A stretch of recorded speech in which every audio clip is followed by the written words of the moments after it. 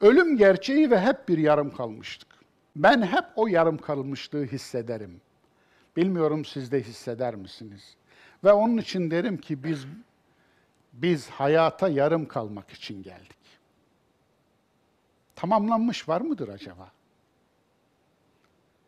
Arzularınızı tamamlayıp gideceğinizi sanıyor musunuz?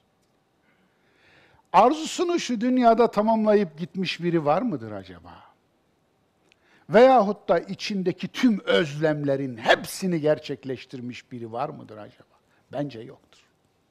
Onun için biz hayata yarım kalmak için geldik. Tamamlanmayacağız hiç. Hep yarım olacak. Hep bir tarafımız yarım olacak. Zaten bir şeyler gelirken bir şeyler gidiyor. Bakınız parayı buluyorsunuz, sıhhati kaybediyorsunuz. Öyle değil mi? Makamı buluyorsunuz bu sefer, huzuru kaybediyorsunuz. Yani yıllar yılı sevdiğimle evlensem, bir yuva kursam, çoluk çocuk olsa, evleniyorsunuz, yuva kuruyorsunuz, çoluk çocuk oluyor. Ondan sonra çocuklar öyle başınıza bela oluyor ki şimdi ne yapacağınızı şaşırıyorsunuz. Vesaire. Yani bunun arkası gelmez, sonu bitmez. Hayat böyle bir şey. Hayat acılarıyla hayattır zaten. Hatta acılarıyla güzeldir. Yoksa bura cennet sayılır.